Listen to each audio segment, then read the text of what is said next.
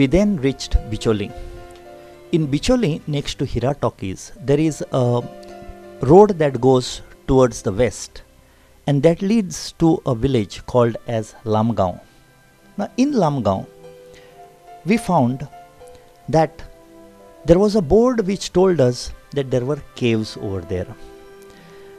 One thing about Lamgaon is this name has come because they say or legend tells us that there were lot of Buddhists and Jains staying over here. Locally they were called as lamas and hence this entire village was known as Lam Gaon or Lamazo Gaon. From this, another Konkani word also has uh, been uh, included in the vocabulary is the word Shivrak. The reason is that these Buddhist students who were there were called as Shravaks. They were used to begging for their food from the people and they were vegetarians. So any person eating vegetarian food was called as a Shravak which later degenerated to Shivrak. That is how we call vegetarians in our local language. So we walked down and we found a pathway uh, where there was a spring, people were washing their clothes, and a small pathway through the betel nut plantation led to a rock cut cave, a single rock cut cave, where outside we saw that there were idols of horses. When we went in, we found that there was one compartment having two pillars and a huge ling we could see over there. Then I was told by Mr. Prithviraj Sardesai, who was accompanying us, that there was another cave ahead. We walked down around 15 meters and came across a pathway which looked a little hidden. Now, when we see the close up of this pathway, you can see that it is covered up with bushes and when we went up there we found that there was a carved cave over there but not completed. Now you can see over here that there is a snake skin. What we must know is that these caves since there are no not many people who come over here has become an habitat for snakes and for leopards. If you look here you can see that there is a pillar that has been half carved and the ceiling shows carvings. In this uh, cave, there are a lot of bats. The whole area smells of sulfur. These are the bat droppings. They are very poisonous. You have to be very, very careful. So, next time you come here to the Lamgaon caves, please make sure that there is no leopard or snakes in here and travel in groups. Please do not go alone inside these caves. So, this is our visit to the Lamgaon caves.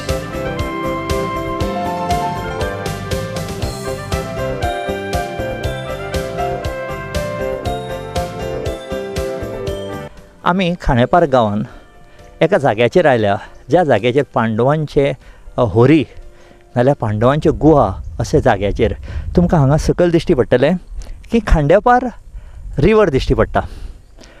हांगासून trading खूब जातालें. आमी हांगा आयल्यात पळोवपाक ह्यो caves. ह्यो caves which are dating back to the Buddhist era over here and at one time they were totally covered with mud. That is a nice story. We will go down and we will see that. But this entire area was covered up with mud and this was excavated by the archaeological survey of india. They are unique over here. A few caves are like this which are standing individually and we shall go down and see the architecture of these caves.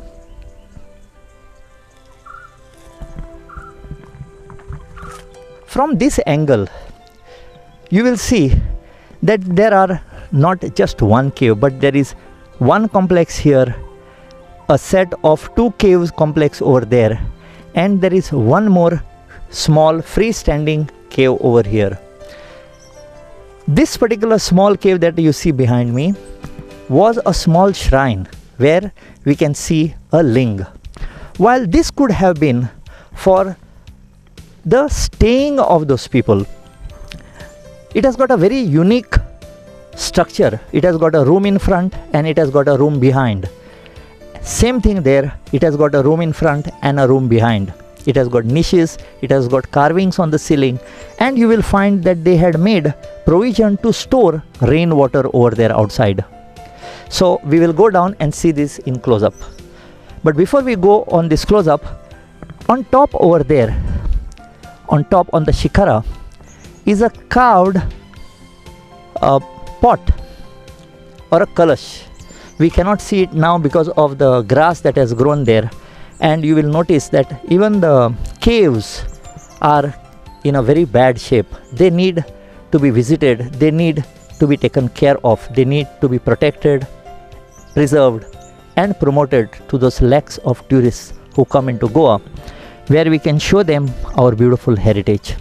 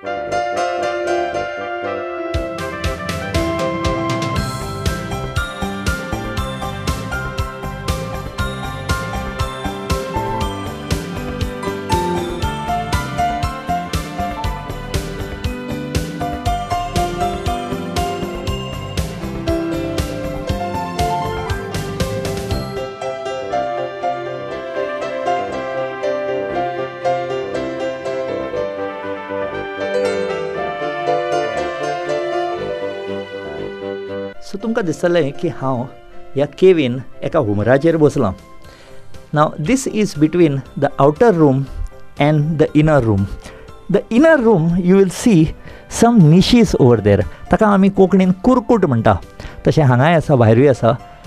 कुरकूट म्हणटा पयलींच्या तेंपार light नाशिल्ली electricity नाशिल्ली. So they would put a oil lamp in this particular one or they would store something up there But what I want you to notice in this particular cave is a nice phenomenon. In the caves, they already had beautiful designs up there.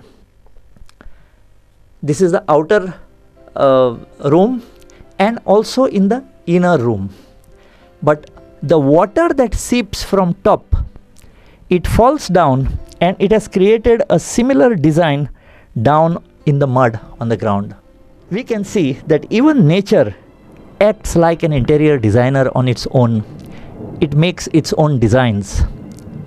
It is the young generation that has to come, be one with nature, and learn how to take this forward for the benefit of the people and the benefit of the state by observing this and bringing it into the culture that they have been brought up.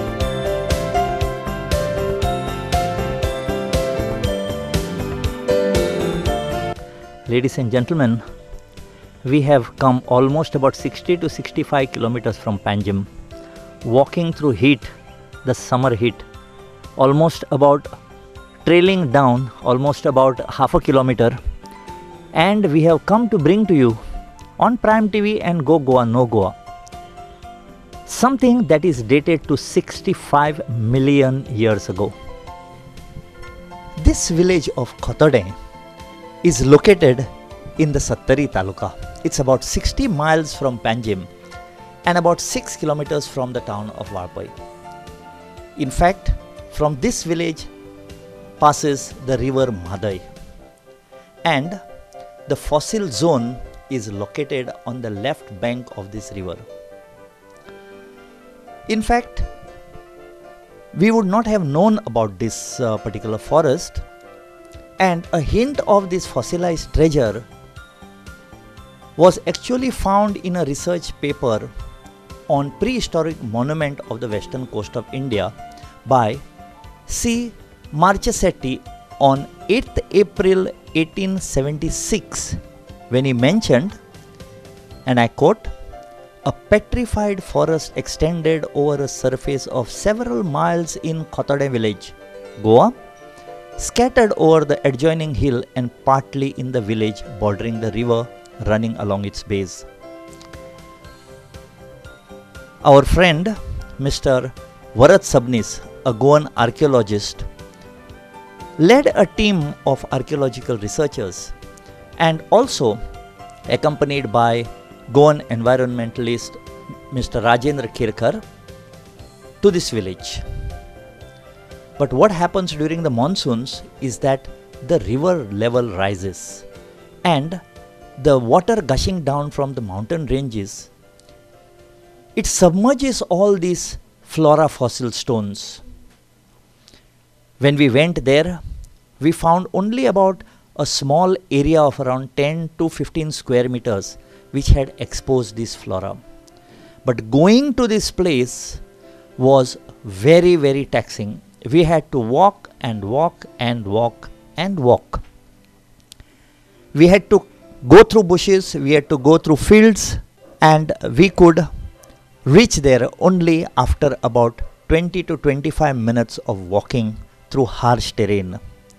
Now, you have to be very, very careful when you are walking to these places and there can be uh, animals there can be other uh, snakes that can uh, attack you but it is most important that the educational institutions in goa must take their students and show them this area as study of this can let us know how the hominids worked walked over here the vegetation that existed during that period and the climatic conditions that were prevalent. And if you are lucky, you may come across the Stone Age tools that were used by these hominids. So let us meet our friend who has brought us here to the fossilized forest of Khotode. Varad Bab, welcome to this program, Prime TV, Go Goa Know Goa, which travels to different parts of Goa and we try to bring some unknown important facets about Goa and its archaeology and heritage to the people. Thank you very much for joining us here on this program. And uh, what we want to ask you is there, how did you find this particular place? Because it's very remotely located and um, I find that if I had to come alone, I would never be able to find this place. Uh, similar was the case when I tried to locate this because uh, I was part of one research team and it was a project at uh, Asiatic Society Mumbai and there I came across one article of 19th century mentioning about existence of such fossil forest in area called farm of Captain Pinto and that's all it was mentioned and the village name Khotode was mentioned and then I started searching for it I came across few people who already were knowing about the reference but they could not locate the exact place. I uh, contacted Mr. Rajendra Kerkar who is well versed about uh, the geography of Goa. So I, with the help of Dr. Mr. Rajendra Kerkar, I came to this particular place, and uh, we could locate. We collected some samples, got it confirmed with uh, well-known geologists and paleontologists, and then only we officially declared through newspapers and research articles about this place. Uh, you find that this particular place, if it comes to promotion of tourism or retaining this particular place, because coming over here, we found that there were no directions, there was nothing over here. Uh, do you find that it is an advantage that it is not known to other people, or do you feel that this should be developed and promoted to all the, especially the visitors, especially the student community who are in botany, who go out of the state to learn about botany? Do you feel that they uh, they should be brought over here and thought about this? Uh, see, this particular uh, place, which has got fossils which are more than 65 million years old, so it has already gone out of public memory. So even villagers are not aware about any such thing present over here. Uh, basic awareness is very much needed, and especially among the ge- geology students, botany students from uh, different colleges and university. Uh, these things are to be promoted, and through education, tourism can be promoted over here. So you feel that the local parties that are there, the owners of the places, the village panchayats that are here, uh, they could um, develop this area and make a little bit of revenue for their organization. Yes, of course, this can be uh, made through local panchayat. Even uh, as a state government, state should look into this because this is the earliest evidence of life not only in Goa but in coastal India. So it has got a lot of academic significance, historical significance. So it can be uh, made as a tourist destination as well as it can be converted into geological fossil park as well, which are hardly seven or eight in entire Indian subcontinent. Okay. Uh, in fact, I'm really inspired by the words by Varad Bab because it was because of him that I am sitting on a 65 million year old fossilized forest part. If we look around this particular river, it's quite, we are sitting inside, we have taken the risk of sitting inside, but we have brought this program to you now because in the first monsoons, when this river waters become high, you cannot see anything over here, you cannot come over here. Now that he, uh, Mr. Varad Bab has told us that uh, this has to be protected. Uh, what comes to my mind is that it can be protected on site as well as as a teaser, as um, as a example, so that it can inspire other people to come. Whether we should pick up a piece from here, I mean the museum or some other place, place it over there, so that people can come, confirm for themselves, yes, that is the place, and they can come over here. Do you feel that lifting a piece from here and keeping it in the museum is going to um, give a little bit of boost for people to come over here?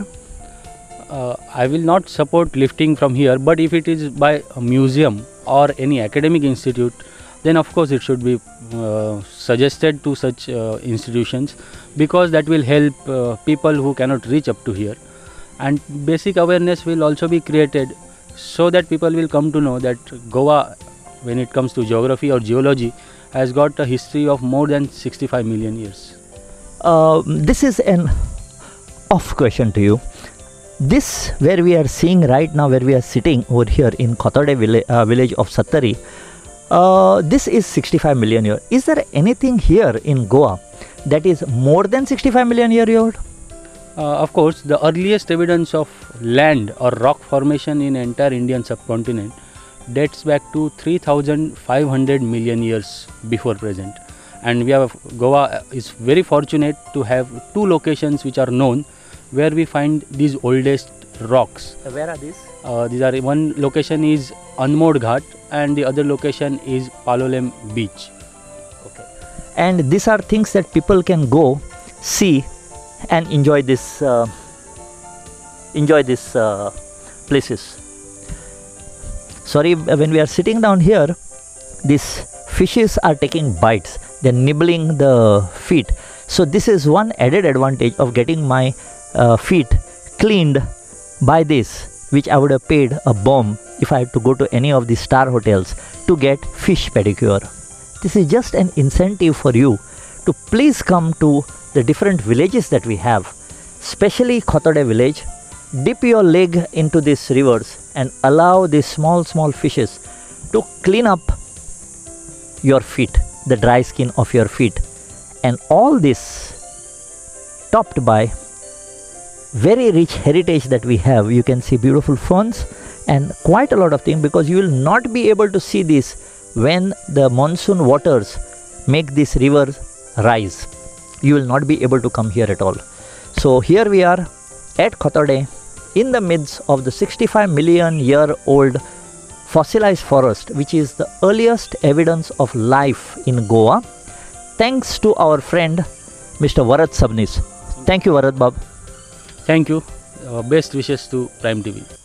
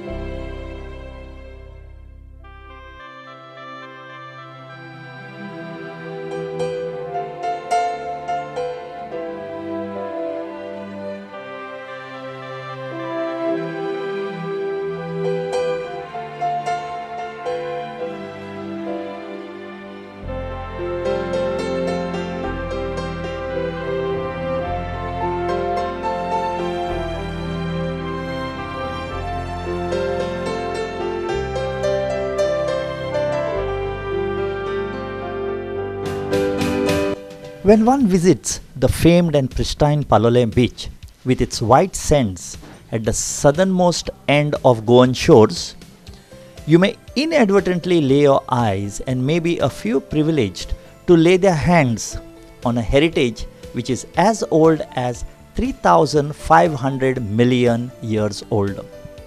This heritage is present in the form of huge smooth surface rocks jutting out skyward along the wave kissed shoreline of this beach. These rocks have been witness to the formation of life on earth as they are formed when no life existed on this planet. They comprise the base rock of all other rocks on the Indian subcontinent. Geologically, these rocks are identified as Trondhjemite gneiss. Besides here, you can find such rocks at Anmod Ghat in the Sahyadri range towards the eastern border of Goa. These rocks are geologically aged to a period around 3500 million years by the rubidium isotope dating method. The second oldest rocks on the Indian subcontinent are found in Karnataka and which are dated to 3200 million years old. One of Goa's noted writer and botanist Dr. Nandakumar Kamath from the Department of Botany, Goa University, once stated, and I quote, when the Indian supercontinent Pangaea broke up and the Indian landmass started to drift towards the northeast, the oldest of the stones or rocks remained on the part of that landmass which comprises Goa. And he further stated, when you touch this rock, you are touching part of history which is dated 3500 million years old. So, ladies and gentlemen, when you come to Palolem beach, please do not look only at the beach side and the waves, which are wonderful. But please take time off to touch those huge boulders because what you will be doing is you will be touching 3500 million years old of history and heritage. Thank you for watching Go Goa Know Goa. As we travel all over Goa to get you the news of those very unheard and unseen of things or lesser known things, we may be making mistakes. You may be wanting to know something more. Please send us your feedback on the email and WhatsApp that is flashing on your uh, TV. Thank you so much for watching Go Goa Know Goa. Till we meet again.